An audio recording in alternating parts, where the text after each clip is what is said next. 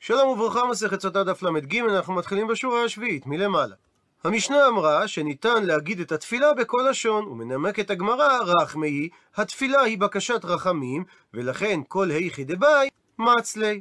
בכל שפה שרוצה האדם הוא יכול להתפלל. מקשה הגמרא, ותפילה בכל לשון ניתן לומר אותה? והאמר רב יהודה, לעולם אל ישאל אדם צרכיו בלשון ארמית, מפני דאמר רבי יוחנן, כל השואל צרכיו בלשון ארמי, אין מלאכי השרת נזקקים לו. וסיבת הדבר, לפי שאין מלאכי השרת מכירין בלשון ארמי. עונה על כך הגמרא לא קשיא, הדאמר רב יהודה, שאל ישאל אדם צרכיו בלשון ארמית, מדובר בתפילה ביחיד. לעומת זאת, ה, מה שאמרה המשנה, שתפילה ניתן לומר בכל לשון, זה תפילה בציבור. הוא מסביר רש"י, היחיד בתפילתו צריך שיסייעוהו מלאכי השרת, מה שאין כן הציבור אינם צריכים לעזרת המלאכים, שהרי כתוב בספר איוב, הן אל כביר לא ימאס, שאין הקדוש ברוך הוא מואס בתפילתן של רבים. הוא מסביר הרב יוסף חיים מבגדד, הלא הוא הבן איש חי, בספרו בן יהוידע את ההסבר הבא.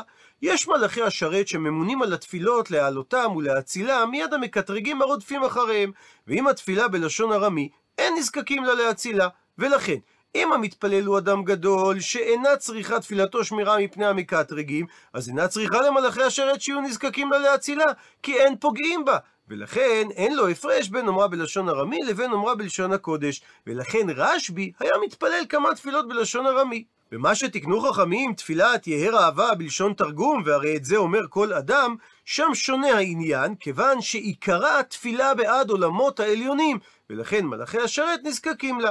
ומה שתיקנו בסליחות בנוסח רחמנה דעני וכולי, ובנוסח מחי ומסי, תפילות בלשון תרגום, גם שם שונה העניין, כיוון דנתקנו אלו לציבור, דינם כתפילת אדם גדול, שאמרנו, וגם מלאכי השרת נזקקים להם, כיוון שהם של ציבור. מקשה הגמרא, ואין מלאכי השרת מכירים בלשון ארמי? והתניא, והרי שנינו בתוספתא, שיוחנן כהן גדול שמע בת קול מבית קודש הקודשים שהוא אומר, ניצחו טליה, דאז לו לאגחא קרבא לאנטוכיה. ניצחו הצעירים שהלכו להילחם בקרב על העיר אנטוכיה.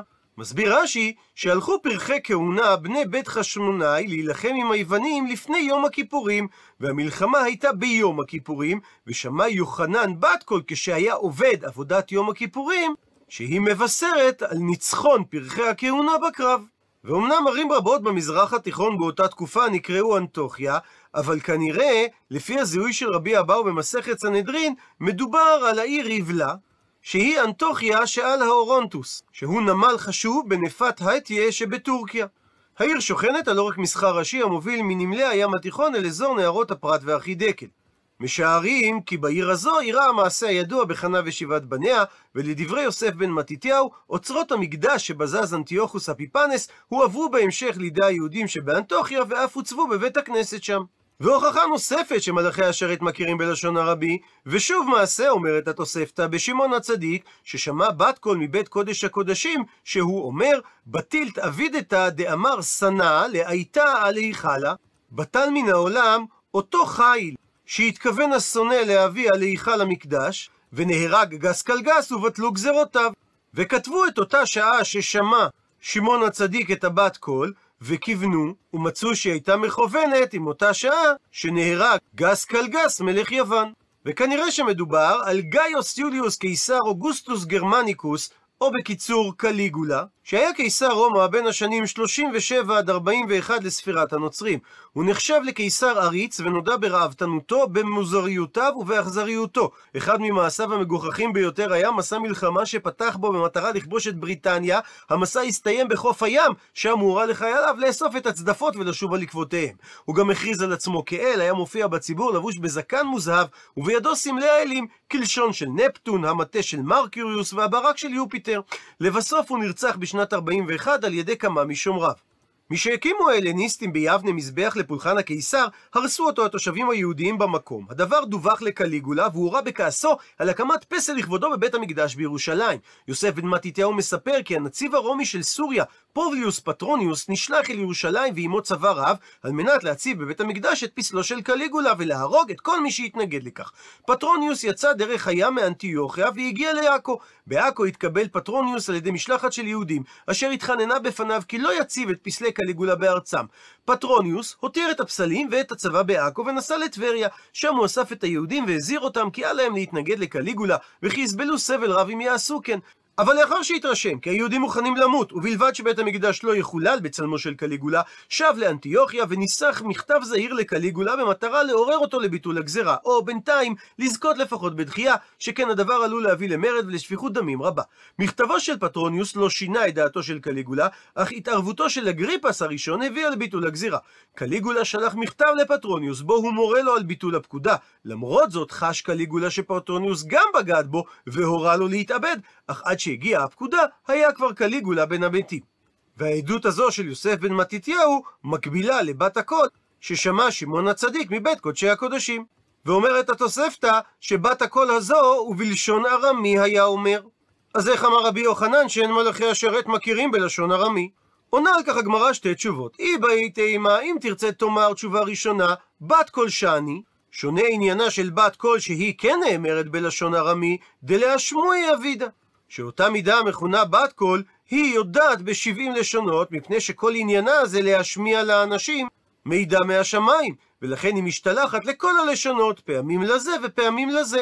תשובה שנייה, והיא באית אימה, ואם תרצה תאמר, שאת אותה בת קול גבריאל הווה. המלאך גבריאל הוא זה שאמר אותה, דאמר מר. כפי שתרחיב הגמרא בדף ל"ו, בא גבריאל ולימדו את יוסף שבעים לשון. ציטוט מהמשנה, שגם ברכת המזון נאמרת בכל לשון. והמקור לכך דכתיב, ואכלת ושבעת וברכת את השם אלוקיך. הוא מסביר תוספות שמאחר שהברכה והשבח הם כלפי השכינה, לכן תוכל לברך בכל לשון שאתה מברך. כי מסתומה בלשון שאתה מכיר, תיתן שבח לקדוש ברוך הוא בללהב שלם על הנאתך. ציטוט מהמשנה, שבועת העדות נאמרת גם היא בכל לשון. המקור לכך דכתיב, ונפש כי תחטא ושמעה קול עלה. ומזה שלא כתוב והשביעו הבעלה, מדייקת הגמרא ששבועת העדות היא בכל לשון שהיא שומעת. ציטוט מהמשנה שגם שבועת הפיקדון נאמרת בכל לשון, והמקור לכך עטיה, נלמד הדבר בגזרה שווה, תחטא תחטא משבועת העדות. שבשבועת הפיקדון כתוב נפש כי תחטא, וגם בשבועת העדות כתוב ונפש כי תחטא. אז כשם שלמדנו ששבועת העדות היא בכל לשון, כך גם שבועת הפיקדון בכל לשון. ציטוט מהמשנה, ואלו נאמרים בלשון הקודש, מקרא ביקורים וחליצה וכולי, עד לשון המשנה, מקרא ביקורים כיצד, שכתוב, וענית ואמרת לפני השם אלוקיך. ולהלן הוא אומר, לגבי הברכות והקללות בהר גריזים והר עיבל, וענו הלוויים ואמרו אל כל איש ישראל. מה ענייה האמורה בלוויים להלן זה בלשון הקודש, אף כאן, במקרא ביקורים, המילה וענית היא בלשון הקודש. עד לכאן הציטוט מהמשנה, ושואלת הגמרא, ולוויים גופה יומנלה, מהיכן נלמד הדין שהלוויים עצמם אמרו את הדברים בלשון הקודש? עונה הגמרא, עטיה, נלמד הדבר בגזרה שווה, קול קול ממשה. כתיב הכא, כתוב כאן אצל הלוויים את המילים קול רם, וכתיב התם, וכתוב שם לגבי מתן תורה, משה ידבר והאלוהים יעננו בקול. אז מה להלן? מתן תורה היה בלשון הקודש, אף כאן שנאמרה המילה קול, מדובר בלשון הקודש. ציטוט מהמשנה, חליצה כיצד וכולי. ונעיין במשנה. בתחילה הביאה המשנה את דעת חכמים, וענתה ואמרה, ולהלן הוא אומר וענו הלווים ואמרו, מה להלן אצל הלווים זה בלשון הקודש, אף כאן בלשון הקודש. רבי יהודה לעומת זאת אומר שאין צורך ללמוד שחליצה היא בלשון הקודש ממעמד הלוויים על הר עיבל וגריזים, שהרי כתוב וענתה ואמרה ככה.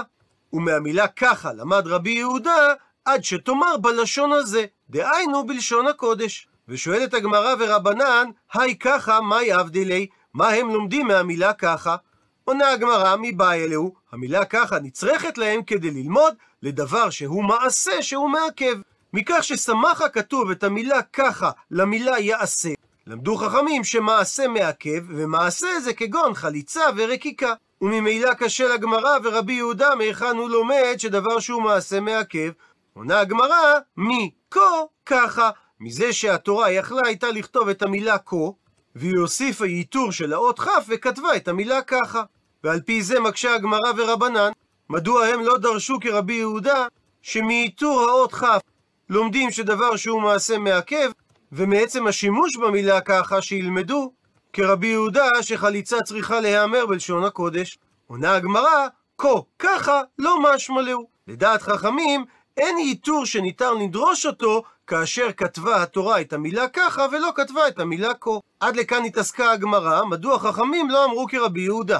הפכנו דף, עכשיו מתעסקת הגמרא, מדוע רבי יהודה לא אמר כחכמים, ורבי יהודה, היי, זה שכתוב נקרא בפנים, וניגשה יבימתו אליו לעיני הזקנים, וחלצה נעלו מעל רגו, וירקה בפניו, וענתה ואמרה, ככה יעשה לאיש אשר לא יבנה את בית אחיו. את לימוד הגזרה שווה של ענייה ואמירה, מהמילים וענתה ואמרה, שנאמרו בחליצה, ושנאמרו גם על ידי הלוויים, וענו הלוויים ואמרו, מהי עביד לי? מה הוא לומד מהגזרה שווה הזו? עונה הגמרא, מי בא אלי? רבי יהודה צריך את לימוד הגזרה השווה הזו להגמור אל הלוויים דבלשון הקודש. לפי רבי יהודה, הגזרה השווה מלמדת שהלוויים השתמשו בלשון הקודש במעמד הברכות והקללות. מקשה הגמרא, ולילה אף כל ממשה. מדוע שלא ילמד רבי יהודה שהברכות והקללות היו בלשון הקודש, כפי שאמרנו בסוף העמוד הקודם, גזרה שווה כל כל ממתן תורה שנאמר למשה. עונה הגמרא, עניה עניה גמיר, כל כל לא גמיר. מסביר רש"י, גזרה שווה דעניה עניה, שנאמר בחליצה וענתה ואמרה, ונאמר אצל הלוויים וענו הלוויים ואמרו, את זה למד רבי יהודה מרבו. אבל גזרה שווה דכל כל, שנאמר אצל הלוויים קול רם, ונאמר אצל משה במתן תורה, והאלוקים יעננו בקול, את זה לא שמע רבי יהודה מרבו, והכלל לגבי גזרה שווה אומר שאין אדם דן גזרה שווה, אלא אם כן הוא קיבל אותה ממסורת. וסייעת לדבר, תניא נמי אחי, כך גם שנינו בברייתא. רבי יהודה אומר, כל מקום שנאמר את המילה כה, או את המילה ככה, או את המילים ענייה ואמירה, אינו אלא שהדיבור שם הוא בלשון הקודש. עד לכאן לשון הברייתא הוא מבאר את הגמרא. המילה כה שאמר רבי יהודה, הוא התכוון לכה תברכו. כלומר, לעניין נשיאות כפיים של הכהנים. שחכמים למדו בהמשך בגזרה שווה שהיא נאמרת בלשון הקודש, ובא רבי יהודה למימה, שמפני שכתוב בה המילה כה, זה מחייב שהיא נאמרת בלשון הקודש. המילה ככה מדברת דחליצה, שהיא נאמרת בלשון הקודש, והמילים ענייה ואמירה מתייחסים לברכות והקללות דלוויים, שחכמים למדו שהם אמרו את זה בלשון הקודש מגזרה שווה כל כל, ובא רבי יהודה לומר שנדרש בגזרה שווה מ"וענתה ואמרה" שנאמר ביבמה, ששם נאמרה המילה ככה, לענייה ואמירה שנאמרו בלוויים, שכתוב וענו הלוויים ואמרו. ציטוט מהמשנה, ברכות וקללות כיצד, כיוון שעברו ישראל את הירדן וכולי. תנו רבנן, שנו רבותינו בברייתא, על הפסוק נקרא בפנים, הלא המה בעבר הירדן, אחרי דרך מבוא השמש, בארץ הכנעני, היושב בערבה, מול הגלגל, אצל אלוני מורה. שמלשון הפסוק, הלא המה בעבר הירדן, הכוונה מעבר לירדן ואילך. שהרי כשהיו ישראל במדבר, נאמרו להם סימני הר גריזים והר עיבל, ומה המקום שהם נמצאים, שזה בעבר השני של הירדן. וזה בשעה שעם ישראל היו למזרח הירדן, שהרי כתוב בני גד ובני ראובן לקחו נחלתן מעבר לירדן ירחו קדמה מזרחה. אז נאמר להם סימני דרך שהערים האלה במערב הירדן ואילך הרבה להלן מן הירדן לצד מערב ולא סמוך לירדן. אלו דברי רבי יהודה, וכך הוא מפרש את הפסוקים. נאמר אחרי דרך מבוא השמש, ומה הכוונה במילים מבוא השמש? מקום שחמה זורחת. ומצינו בבראשית רבה שכל מקום שנאמרה המילה אחרי, הכוונה היא למקום מופלג, מרוחק. כך שמשמעות הפסוק שהערים נמצאים רחוק ממזרחו של הירדן, או במילים אחרות בצד מערב. ואחר כך נאמר בפסוק בארץ הכנעני היושב בערבה, אלו הר גריזים והר עיבל, שיושבים בהם עכשיו בזמן המשנה הכותיים, שאותם הושיב סנחריב כאשר הוא הגלה את עשרת השבטים. והוא עשה טרנספר הפוך שכתוב שהוא הביא אנשים מבבל ומכותה, ויושיבם בהרי שומרון. ומה שנאמר מול הגלגל, הכוונה סמוך לגלגל. והרשש במקום טוען שצריך למחוק את המילים מול הגלגל סמוך לגלגל, שהרי לשיטת רבי יהודה, הר גריזים והר עיבל נמצאים ליד שכם, ולכן הם לא היו יכולים להיות סמוך למקום הגלגל, שנמצא בקירוב ליריחו. ומה שנאמר אצל אלוני מורה, הכוונה לעיר שכם, שהרי ולהלן הוא אומר, נקרא בפנים, ויעבור אברהם בארץ עד מקום שכם עד אלון מורה והכנעני אז בארץ. מה אלון מורה האמור להלן אצל אברהם, הכוונה שכם, אף כאן שנאמר אלון מורה, הכוונה שכם. והבח במקום לא גורס את המילה תניא, אלא זה המשך הברייתא. אמר רבי אלעזר ברבי יוסי, בדבר זה זייפתי, הכוונה, גיליתי את הזיוף שבספרי הכותיים. וכך אמרתי להם, זייפתם תורתכם, ולא העליתם בידיכם כלום. הוא מסביר רש"י, שיש לקוטים תורה שבכתב, והם לא מאמינים בתורה שבעל פה. וכך הוא אמר להם, שאתם אומרים אלוני מורה זה שכם. ואף אנו היהודים מודים שאלוני מורה זה שכם, אבל אנו למדנוה בגזרה שווה, שזו תורה שבעל פה, אתם במה למדתום? אלא בהכרח שאם אתם אומרים שאלוני מורה זה שכם, אתם מקבלים את התורה שבעל פה, וממילא אתם חייבים לפרש שהמקום אשר יבחר השם לפי התורה שבעל פה זה ירושלים ולא הר גריזים. עד לכאן ראינו את הזיהוי של רבי יהודה שהר גריזים והר עיבל נמצאים ליד העיר שכם. רבי אלעזר לעומת זאת חולק והוא אמר שכך צריך לדרוש את הפסוקים. נאמר הלא המה בעבר הירדן, והכוונה היא דווקא שהם סמוך לירדן. דהי תסביר שהכוונה מעבר הירדן ואילך, הלא כתיב, והיה בעובריכם את הירדן אחרי דרך מבוא השמש. והכוונה במילים מבוא השמש זה למקום שהחמה שוקעת. והכוונה במילה אחרי זה לשון הפלגה על דבר מרוחק, כך שכוונת הפסוק למקום שמרוחק משקיעת השמש, והיינו לצד מזרח, סמוך לירדן מיד. הוא ממשיך רבי אלעזר ומסביר, שמה שנאמר בארץ הכנעני, בעצם ארץ חיבי היא. שהרי כתוב, ויבוא יעקב שלם עיר שכם, וכתוב ששכם בן חמור החיבי נשיא הארץ. אבל קשה שהרי לשון הפסוק היושב בערבה, והלא החיבי לא ישבו בערבה, אלא בין ערים וגבעות הם יושבים, וגם קשה שכתוב מול הגלגל, והלא החיבים לא ראו את הגלגל. אלא בהכרח צריך להסביר כפי שרבי אליעזר בן יעקב אומר, שלא בא כתוב לתת להם סימנים על הר גריזים והר עיבל, אלא להראות להם דרך בשנייה, כדרך שהראה להם בראשונה. מסביר רש"י, בראשונה הכוונה בצאתם ממצרים, שאז הם לא היו צריכים לנווט בעצמם, אלא היה להם עמוד ענן להנחותם הדרך, וכך בא עכשיו הקדוש ברוך הוא ליישר דרכיהם ולהורותם הדרך, לפי שגלוי לפניו שעתיד הענן לפסוק במיתת משה, ולא ילך הענן עם יהושע, ולכן הורה להם בשנייה, דהיינו לאחר שיעברו את הירדן כדי לכבוש את הארץ, כיצד נוח ללכת. המילה דרך, הכוונה בדרך לכו ולא בשדות וכרמים. והמילה היושב, הכוונה ביישוב לכו ולא במדברות. המילה בערבה באה ללמד, בערבה לכו ולא בהרים וגבעות. ומעיר תוספות, שהמחלוקת בין רבי יהודה לבין רבי אלעזר, היא בעצם כיצד ליישב את הפסוק מול הגלגל. שלפי הירושלמי, רבי אלעזר מסביר שהר גרזים והר עיבל היו שתי גבשושית עפר, דהיינו שתי הרים קטנים, שאין להם קשר להר גריזים ולהר עיבל ליד שכם, רק שבני ישראל קראו לגבשושית אחת הר גריזים ולגבשושית שנייה הר עיבל. רבי יהודה לעומת זאת, שזיהה את הר גריזים והר עיבל ליד העיר שכם, תירץ את לשון הפסוק מול הגלגל על ידי מעשה נס ש-120 מיל הלכו בני ישראל באותו היום. מה שאין כן לדעת רבי אלעזר, שהם לא זזו ממקומם. עד לכאן דף ל"ג.